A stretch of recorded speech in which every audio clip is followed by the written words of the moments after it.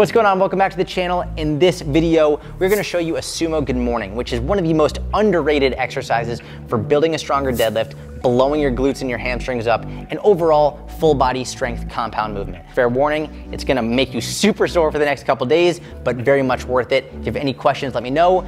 Like the video, subscribe if you don't already. Let's get into it.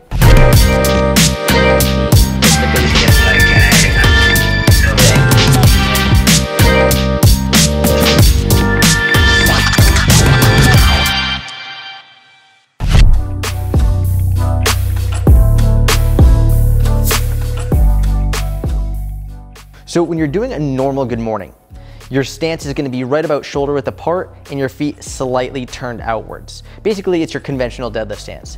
The sumo good morning, obviously, it's basically your sumo deadlift stance. So you're gonna get your feet slightly wider. How wide, it really depends on how wide you wanna go. Personally, I try and mimic my sumo deadlift stance. So if you are an ultra wide sumo deadlifter, try getting your feet ultra wide. If you take more of a moderate stance for your sumo deadlift, take more of a moderate stance. Either way, do what feels best for you, try a bunch of different ones, and make sure you're not going so wide that you're putting too much pressure on your hips. Also, make sure that your toes are in line with your knees.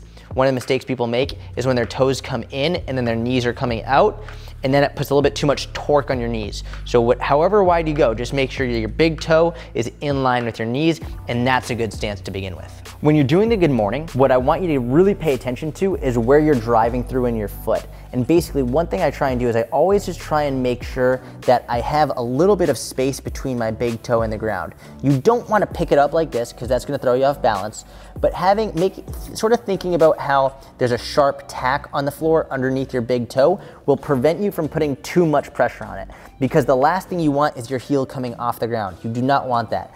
You want your heel flat on the floor and slightly just keeping your big toe slightly on the ground, imagining that you didn't want to just push through a sharp tack there. And that way you're gonna keep your weight centered through your heel to your midfoot, and that's where you're gonna get the most hamstring activation and you're gonna get the best hip hinge.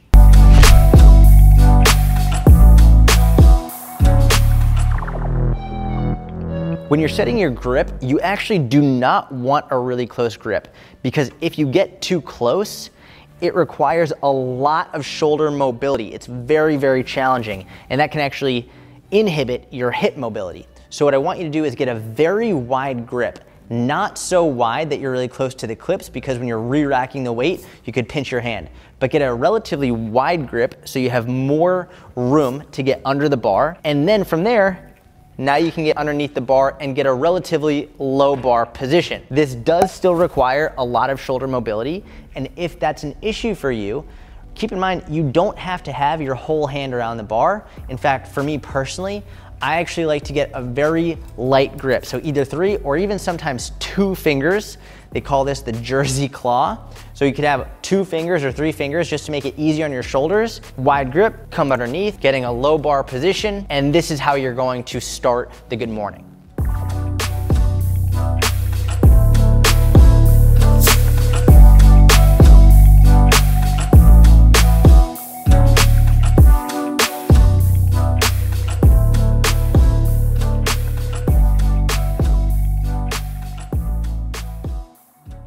So real quick, one more note before you unrack the bar. I want you to pay attention to where the bar is in relation to the hook. Because a lot of people, what they'll do is, the bar will be out here, and then it might roll back and forth as they're trying to lift it off. What I want you to do is push the bar up against the rack and make sure that's where you're starting it from because if you're actively pushing against it, it won't be rolling back and forth. From here, now we have to set it on your back. And I want you to take a relatively low bar position. And to show you what that looks like, a higher bar position would be up on the top of your traps like this, while a lower bar position gets it a little bit lower on your back, more towards the mid part of your back, and you keep it there by squeezing your shoulder blades together. So again, a higher bar position is more of an upright torso, where it just rests on your traps, and a lower bar position is where you get it lower on your back and you squeeze your shoulder blades together in order to keep it there and the more mid part of your back. One of the biggest issues people have with this once they unrack the bar is they feel like the bar is just gonna fall right off. The way to prevent that is number one, squeezing your shoulder blades together. You don't want them loose like this. You want your elbows up a little bit and squeezing it together. Number two is you actually wanna pull your, the bar into your back. Not so hard, you don't wanna be ripping it down, but lightly create pressure pulling into your back. And number three is lean slightly forward.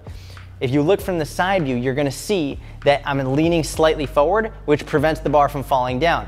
If I'm standing straight up, it lets the bar come straight down my back, and that's when you run into issues. The main reason you don't want a high bar position while you're doing the sumo good morning is because as you're going back with your hips, the bar is gonna roll forward onto your neck, your cervical spine, which obviously is not what we want. So you want that lower bar position and you wanna be pulling it into you so that you can, number one, not let the bar roll up, and number two, keep it secured in your mid, mid upper back the entire time. Again, you don't need to be pulling so hard that it's hurting your hands or hurting your shoulders, but light tension pulling down with your fingers is enough to prevent the bar from rolling and keep it in place where you want it throughout the entire set.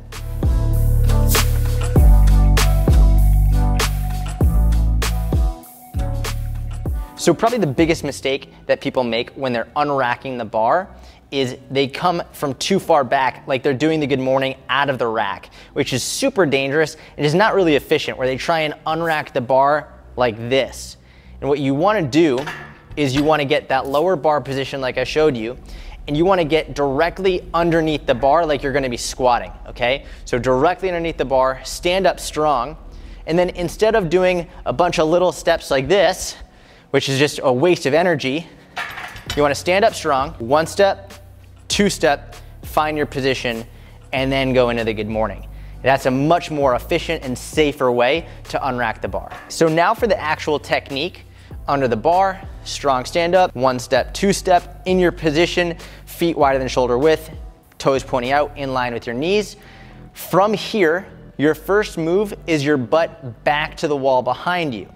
The biggest mistake people will make is breaking at the knees first, essentially doing a squat instead of a good morning. When you're doing a good morning, you wanna send your butt back to the wall behind you and basically imagine that you're doing a deadlift. The good morning is really a deadlift with the bar on your back, or maybe even more like a Romanian deadlift, because your knees are only slightly bending. So again, sending your butt back to the wall behind you, and you want your torso to be as close to parallel as possible with the ground before returning to the starting position. So probably major mistake, too much knee bend, squatting the good morning. Second major mistake is slightly, is reducing the range of motion and not going deep enough. So you don't wanna squat it, and you don't wanna short the range. You wanna make sure your butt goes all the way back, big stretch in the hamstrings, torso almost parallel with the floor, drive to the heels, squeeze your butt, and that is the good morning.